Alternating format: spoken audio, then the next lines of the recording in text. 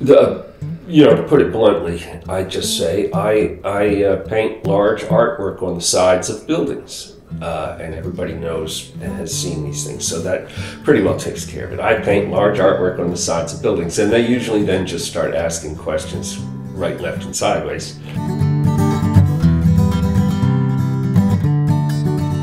I created the paint by numbers. I thought I would do a sort of little instruction manual mural about how to do a mural. So there's the grid, there's the drawing transposed onto the grid. There's a color palette numbered 1 through 20 of all the colors we used off to the side. It, there's numbers in the artwork, there's numbers on the players, there's numbers painted on the field. This is not about football. This is about something more rich and dynamic.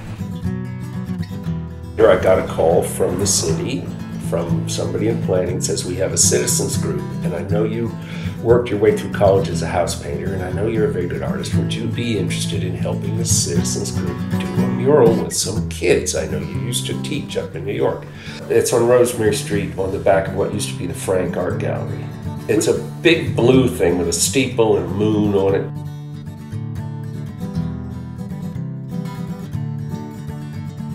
I like the big pencil. I was going to put an iguana, but the, the church across the street didn't want an iguana. But the pencil was, uh, I was just trying to come up with something, and I had a drawing on the wall, blank. And I was doodling up different things I could put, and uh, wasn't liking any of the ideas.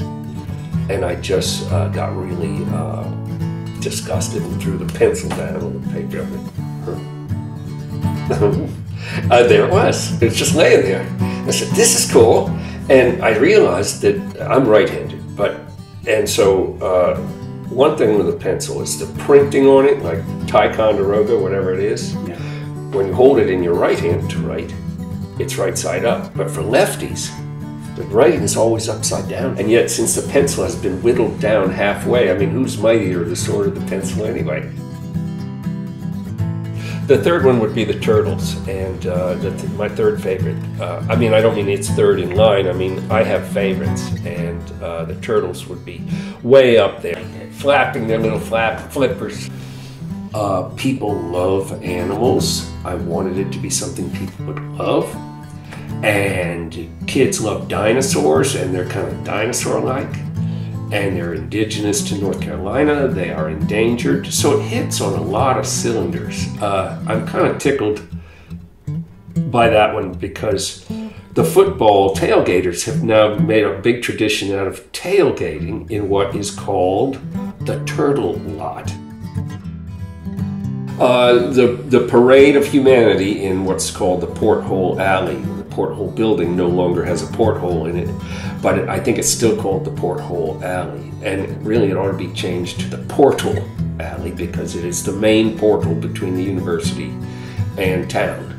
And so, you know, there is a parade of humanity in there all day, every day, back and forth, you know, from undergrads to professors to maintenance workers to visitors to dogs and cats. Uh, so that's what we painted. When, you know, the one in the parking deck, the town manager comes up to me, and the parking deck was new in Chapel Hill. This can't park in the parking deck. We were just not that way back then.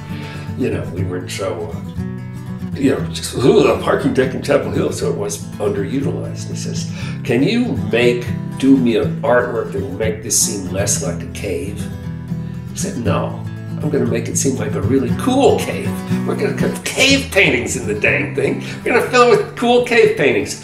I went Lascaux, I went uh, Inca, I went uh, South African, I went Saharan, I went India, I went Japanese. Everyone has this primitive depictions in all their cultures around the world.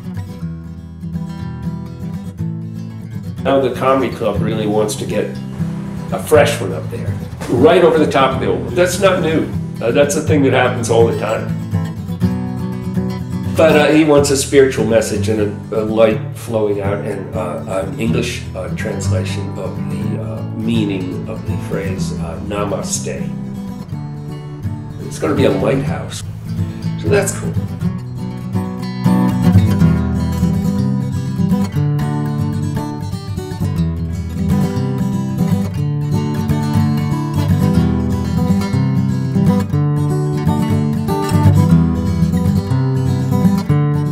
Like the idea of renewal.